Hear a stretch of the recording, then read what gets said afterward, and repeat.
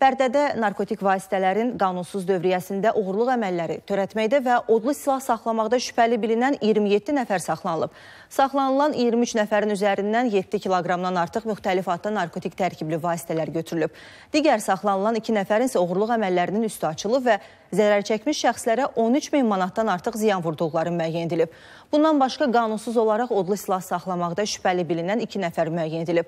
Onlardan Kalaşnikov avtomatı, Makarov tapancası, qundağı və lüləyi kəsilmiş tüfəng aşkar olunaraq götürülüb. Faktlarla bağlı cinayət işləri başlanılıb. Məhkəmənin qərarı ilə saxlanılan şəxslər barəsində həbs qəti imkan tədbirləri seçilib.